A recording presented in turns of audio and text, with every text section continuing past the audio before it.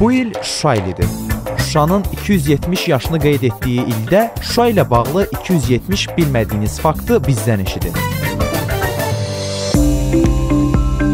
Hazırda ölkəmizdə 4500-dən çox təhsil müəssisəsi var. Minlərlə orta məktəb arasında birincilik isə Şuşa məktəbinə aiddir. Məhz 1830-cu ildə burada ilk orta məktəb açılıb. O bütün Cənubi Qafqazda ilk dünyəvi məktəb hesab olunur. 1980-ci ildə Ulu öndər Heydər Əliyevin təşəbbüsü ilə bu məktəbin 150 illik yubileyi qeyd olunub. Bir saylı məktəb kimi fəaliyyət göstərən təhsil ocağı işğal dövründə dağıdıldı.